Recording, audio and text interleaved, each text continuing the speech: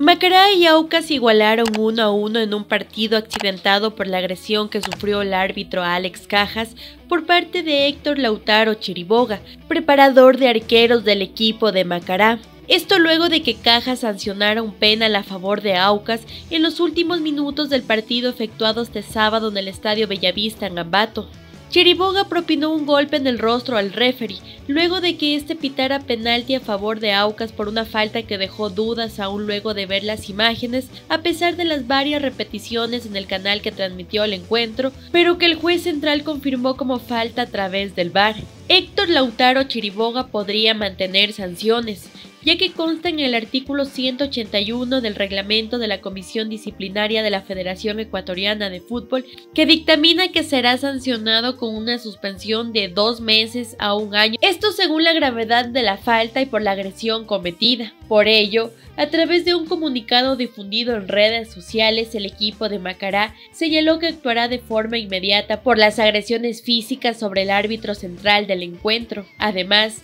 mencionaron que Macará aceptará la sanción que imponga la Comisión de Disciplina de Liga Pro con la base de reglamentos existentes para juzgar este tipo de actos. La Liga Profesional y la Federación Ecuatoriana de Fútbol también repudiaron los actos de violencia y se solidarizaron con Cajas. Horas más tarde, mediante otro comunicado, Héctor Lautaro Chiriboga pidió disculpas por lo ocurrido con el árbitro Alex Cajas y con todos los presentes durante el compromiso Macará y Aucas.